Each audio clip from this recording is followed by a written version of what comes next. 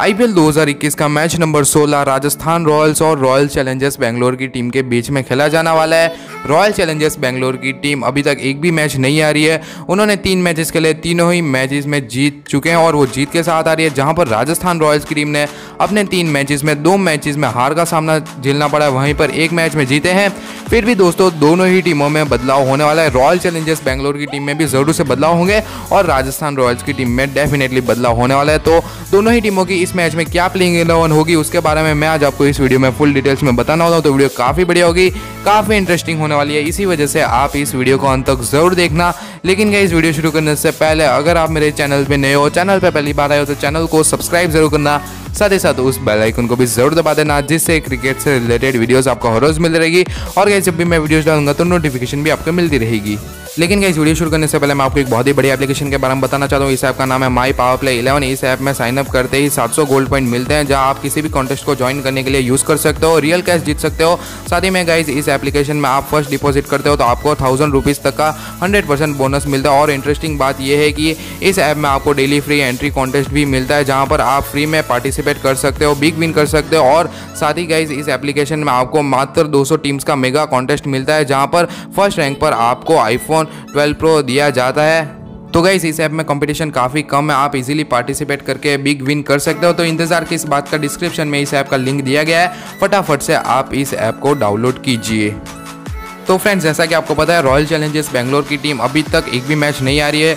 तीनों मैच खेले, तीनों ही मैचेस में वो जीत के साथ आए। फिर भी दोस्तों, इस मैच में इनकी टीम की प्लेइंग इलेवन में बदलाव होने वाला है। तो बात करते हैं ओपनर से तो आरसीबी की टीम के लिए ओपन करने वाले है देवदत्त पाडिकल और इनके जो साथीदार होंगे, वो होंगे इस टीम के कप्तान विराट कोहली। जी हाँ दोस्तों, विराट कोहली और देवदत्त पाडिकल ही हमें ओपन करते हुए नज़र आने वाले हैं। नंबर तीन की बात करते हैं तो नंबर तीन पर हमें बदलाव देखने को मिल सकता है। नंबर तीन पर हमें फिर से शाहबाज अहमद खेलते हुए नज़र आने वाले हैं। नंबर चार और नंबर पाँच की बात करें तो नंबर चार और नंबर पाँच पर हमें ग्लैन मैक्सवेल और ए बी डिविलियर्स खेलते हुए नज़र आएँगे। नंबर छः की बात करते हैं तो नंबर छः पर हमें डैनियल सैम्स खेलते हुए नज़र आ सकते हैं, या फिर फिन एलन खेलते हुए नज़र आएँगे। इन दोनों खिलाड़ियों में से कोई एक खिलाड़ी खेलता हुआ नज़र आएगा।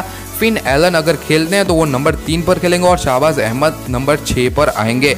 अब बात करते हैं हम नंबर सात की तो नंबर सात पर हमें काइल जेमिसन खेलते हुए नज़र आने वाले हैं। नंबर आठ की बात करें तो नंबर आठ पर हमें हर्षल पटेल खेलते हुए नज़र आएँगे। और नंबर नौ की बात करें तो नंबर नौ पर हमें वॉशिंगटन सुंदर खेलते हुए नज़र आने वाले नंबर दस की बात करें तो नंबर दस पर हमें मोहम्मद सिराज खेलते हुए नज़र आएँगे। और नंबर ग्यारह पर हमें यूजी चहल खेलते हुए नज़र आने वाले हैं। तो आरसीबी की टीम की जो प्लेइंग इलेवन है, वो कुछ इस प्रकार की होने वाली है। इस टीम में दोस्तों हमें एक बदलाव होता हुआ नज़र आ सकता है। रजत पाटीदार की जगह पर हमें फिन एलन या फिर डैनियल सैम्स इन दोनों ही खिलाड़ियों में से कोई एक खिलाड़ी खेलता हुआ नज़र आ सकता है। तो फ्रेंड्स, अब बात करते हम राजस्थान रॉयल्स की टीम की प्लेइंग इलेवन के बारे में। आरआर की टीम अपना पिछला मैच चेन्नई सुपर किंग्स के अगेंस्ट हार के साथ आ रही है।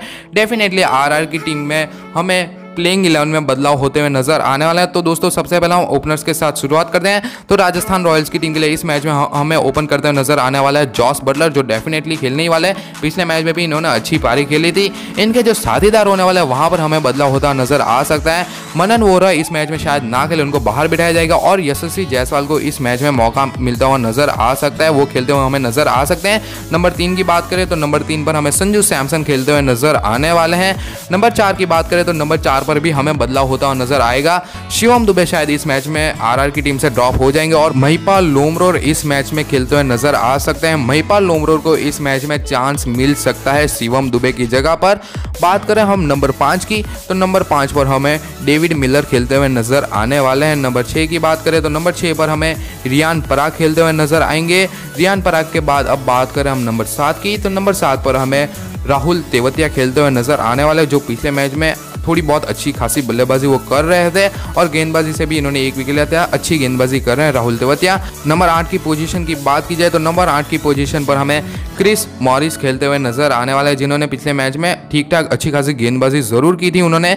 नंबर नौ की बात करें तो नंबर नौ पर हमें जयदेव उनाटकट खेलते हुए नज़र आने वाले हैं। नंबर दस की पोजीशन की बात की जाए तो नंबर दस की पोजीशन पर हमें चेतन साकरिया खेलते हुए नज़र आएँगे, जिन्होंने पिछले मैच में काफ़ी बढ़िया गेंदबाजी की थी, तीन विकेट भी लिए थे और नंबर ग्यारह की बात करें तो नंबर ग्यारह पर हमें मुस्तफिजुर रहमान ही खेलते हुए नज़र आने वाले हैं। तो ये प्लेइंग इलेवन होगी राजस्थान रॉयल्स की टीम की। इस मैच में, इस मैच में राजस्थान रॉयल्स की टीम की प्लेइंग इलेवन में दो बदलाव होने वाले हैं। मनन वोरा की जगह पर हमें यशस्वी जायसवाल खेलते हुए नज़र आ सकते हैं और शिवम दुबे की जगह पर हमें महिपाल लोमरोर खेलते हुए नज़र आएँगे। तो ये दो बदलाव होंगे इस मैच में।